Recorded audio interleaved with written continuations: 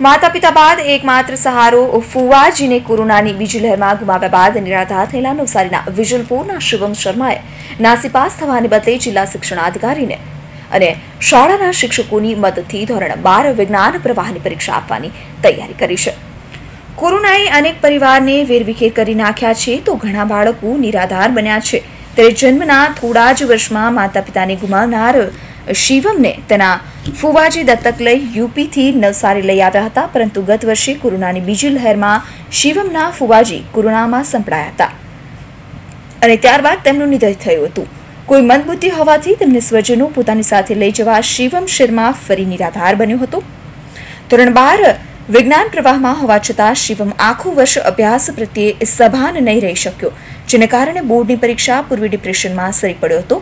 એકલા પડેલા શિવમને જીવન નિર્વાહ કરવા ફુવાજીની બચત કામગીરી લાગી. પરંતુ ખાવાની વ્યવસ્થા સાથે અભ્યાસ પણ કહેવાનો હતો, જેમાં ફિઝિક્સ અને કેમિસ્ટ્રીમાં નબળો હતો. પણ મક્કમતાથી પરીક્ષા આપવાનું મન બનાવ્યું હતું. ફેબ્રુઆરીમાં શિવમે જિલ્લા ઇન્ચાર્જ શિક્ષણાધિકારી રાજશ્રી ટંડેલને વોટ્સએપ મેસેજ કરી પોતાને પરીક્ષાનો ડર લાગતો હોવાનું અને પોતે બે વિષયમાં નબળો હોવાનું જણાવ્યું હતું. જેને ગંભીરતાથી લઈ શિક્ષણાધિકારીએ શિવમને બંને વિષયના નિષ્ણાંત શિક્ષકો મેળવી આપ્યા અને શાળાના આચાર્યને પણ સૂચના આપી શિવમને બનતી મદદ કરી.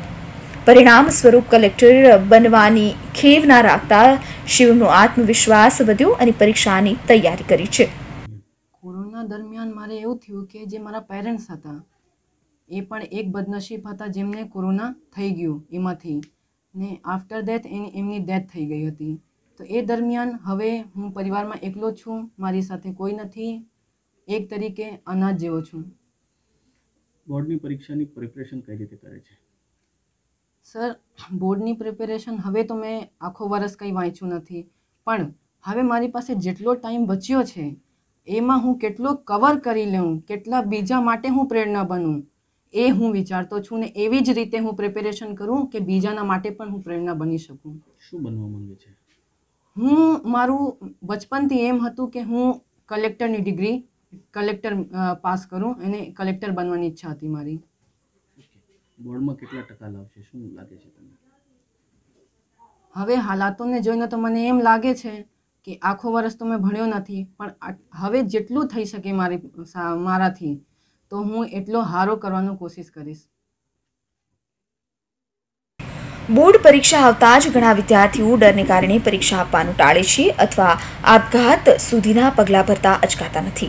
ઘણા વિદ્યાર્થીઓ પાસે ભૌતિક સુવિધાઓ પણ હોય છે, તેમ છતાં ડિપ્રેશનમાં ન કરવાના કામ કરતા હોય છે. જેથી શિક્ષણ વિભાગ દ્વારા પરીક્ષા સાથે હેલ્પલાઇન શરૂ કરી હતી, જેનો ફાયદો શિવમ શર્મા જેવા વિદ્યાર્થીને મળ્યો હતો. અને આજે ઉત્સાહ અને મક્કમતાથી પરીક્ષા આપવાની તૈયારી કરી રહ્યા છે. ઉલ્લેખનીય છે કે નવસારી જિલ્લામાં અત્યાર સુધીમાં આ વિષયને લગતી સમસ્યા ધરાવતા એકસો સત્યાવીસ વિદ્યાર્થીઓએ નિષ્ણાત શિક્ષકો પાસેથી માર્ગદર્શન મેળવ્યું છે. જ્યારે ચૌદ વિદ્યાર્થીઓ જે પરીક્ષાના ડરથી નાસીપાસ થયા હતા, એમને મનોવૈજ્ઞાનિકો દ્વારા સમજાવીને કાઉન્સેલિંગ કરવામાં આવ્યું છે. બે વર્ષ પછી પરીક્ષા લેવા જઈ રહ્યા છે. અને આ એક વિદ્યાર્થીઓ એવા છે કે જેમણે માસ પ્રમોશનથી ગયા વર્ષે આવ્યા હતા. ધોરણ બારમાં વિદ્યાર્થીઓ છે એને કદાચ ધોરણ દસની પરીક્ષા તો આપી છે, પણ જે અમારા ધોરણ દસના વિદ્યાર્થીઓ છે, એમને માર્ચ પ્રમોશન ધોરણ આઠ અને નવમાં મળ્યું છે.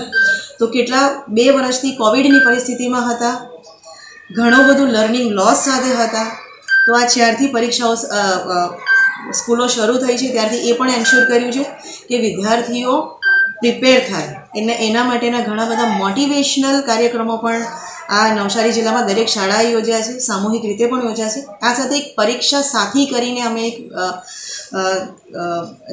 હેલ્પલાઇન શરૂ કરી છે કે જે હેલ્પલાઇનમાં અમારા સાઠ તજજ્ઞો છે અને બે મનોચિકિત્સક પણ છે.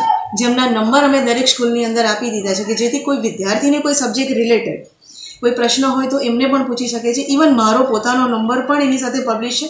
ઘણા બધા ફોનો વિદ્યાર્થીઓના સીધા મને પણ આવે છે કે આ ડર છે, પરીક્ષાની તૈયારી નથી થઈ, આટલા વખતથી નથી નથી સ્કૂલો ચાલુ થઈ, તો શું કરીએ? તો એમને એક્સપર્ટ્સ પણ આપવા માટે અમે પ્રયત્ન કર્યો છે કે વિદ્યાર્થીને માઇન્ડલી પ્રિપેર કરીએ. બોર્ડ પરીક્ષા આવે કે વિદ્યાર્થીઓની આત્મહત્યાની ઘટના સામે આવતી હોય છે ત્યારે જીવનમાં સર્વોચ્ચ ગુમાવ્યા બાદ પણ મક્કમતાથી જીવનની કસોટીમાં પાસ થવાની હિંમત રાખતો શિવમ શર્મા હજારો માટે પ્રેરણારૂપ છે. परिमल मकवाणा हे हेंची न्यूज नवसारी.